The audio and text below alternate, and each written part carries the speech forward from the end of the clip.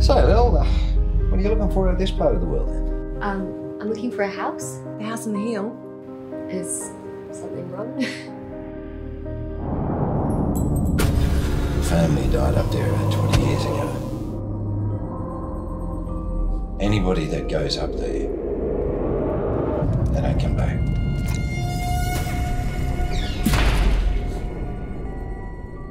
Hello?